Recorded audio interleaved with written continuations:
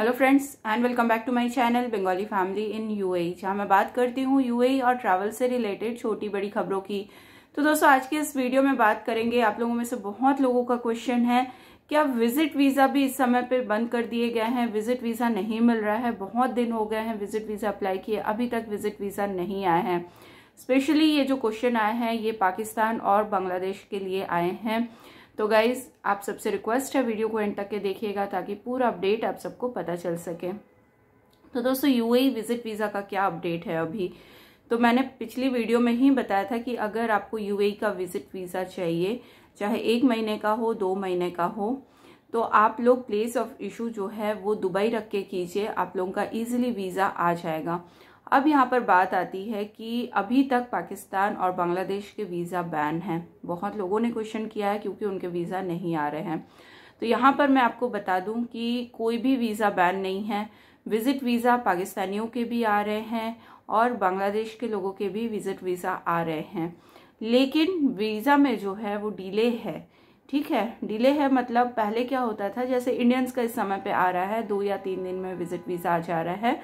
तो अगर आप पाकिस्तान के हैं या बांग्लादेश के हैं तो आपका विज़िट वीज़ा डिले हो सकता है। लेकिन ऐसा नहीं है कि पाकिस्तान के और बांग्लादेश के वीज़े नहीं आ रहे हैं। पाकिस्तान के कुछ बैंड सिटीज़ है। ये बहुत पहले से ही बैंड सिटीज़ है। कौन कौन सी सिटीज़ हैं? आप लोग अगर गूगल करते हैं तो वहाँ पे पूरे यूएई की तरफ़ से जो पाकिस्तान की बैंड सिटीज़ है, उसका लिस्ट आपको दिखा देगा। ठीक है तो उनको छोड़ के बाकी कोई जगहों के भी बैन नहीं है। तो आप लोग गूगल करके देख लीजिए कि आप लोग उस जगह से आ रहे हैं कि नहीं आ रहे हैं। तो आपका वीज़ा में भी रिजेक्ट हो जाए या फिर आपका वीज़ा ना लगे। लेकिन अदर्स के वीज़ा लग रहे हैं इंडियंस के भी लग रहे हैं, पाकिस्तानियों के भी लग रहे हैं, बांग्लादेशियों के भी लग रहे हैं। तो विज़िट वीज़ा में कोई भी दिक्कत नहीं है। फिर उसके बाद जो क्वेश्चन आए वो ये आए कि अगर हम विज़िट वीज़ा पर आते हैं तो क्या विज़िट टू वर्क कन्वर्ट होगा कि नहीं होगा? तो देखिए, अगर आप लोग विज़िट वीज़ा में आते हैं तो वर्क वीज़ा का क्या कंडीशन है, आपको पिछले वीडियो में ही मैंने अपडेट दिया था कि पूरा फिफ्टी फिफ्टी कंडीशन हो गया है। आपका वीज़ा लग भी सकता है, नहीं भी लग सकता है। स्किल्ड कैटेगरी नहीं लग रहा है अनस्किल्ड कैटेगरी लग जा रहा है कहीं पे। कहीं पे अनस्किल्ड कैटेगरी नहीं लग रहा है स्किल्ड कैटेगरी लग जा रहा है। तो ये अभी सिनारियो है वर्क वीज़ा का। बाकी विज़िट टू वर्क वीज़ा अगर आपकी जॉब लगती है और वहाँ पे डेमोग्राफिक डाइवर्सिटी को माना जा रहा है फॉलो किया जा रहा है तो आपका वर्क वीज़ा भी लग जाएगा। थर्ड क्वेश्चन ये है कि क्या वीज़ा ट्रांसफ़र हो रहे हैं स्किल्ड और अनस्किल्ड कैटेगरी के?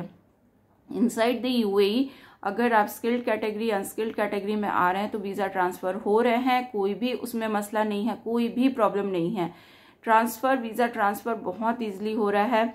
कैंसल्ड वीज़ा से नया वीज़ा लगने में थोड़ी बहुत प्रॉब्लम है, लेकिन वीज़ा ट्रांसफ़र में कोई प्रॉब्लम नहीं है। तो ये है आज का अपडेट। विज़िट वीज़ा बहुत लोगों के आ रहे हैं। ऐसा नहीं है, नहीं आ रहे। टाइम ज़्यादा लग रहा है। रिजेक्ट भी हो रहे हैं। उसमें मैं ऐसा नहीं बोल रही हूँ कि रिजेक्ट नहीं हो रहे हैं। रिजेक्शन भी हो रहे हैं, लेकिन विज़िट वीज़ा आ रहे हैं। तो ऐसा नहीं है कि विज़िट वीज़ा बंद है। तो गाइज़ आई होप इस वीडियो में आपके जितने क्वेश्चन थे वो क्लियर हो गए होंगे। और भी कोई क्वेश्चन हो, आप लोग कमेंट में करके रखिए। मैं ज़रूर से उस पर वीडियो बनाने की पूरी कोशिश करूँगी। मिलते हैं नेक्स्ट वीडियो में एक नई अपडेट के साथ। तब तक के लिए good bye and take care